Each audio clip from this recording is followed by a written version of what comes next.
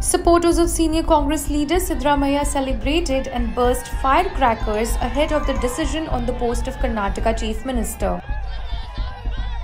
The supporters gathered outside Siddaramaiah's Bengaluru residence on May 17th. They were also seen pouring milk on his poster and chant slogans for him outside his residence.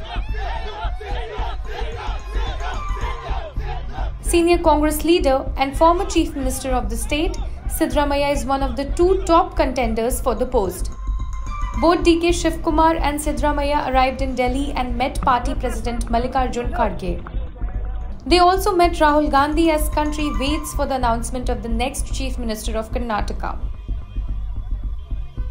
Meanwhile, Congress's Karnataka in charge Randeep Surjewala in a statement said that within next 48 to 72 hours a new cabinet will be formed in Karnataka.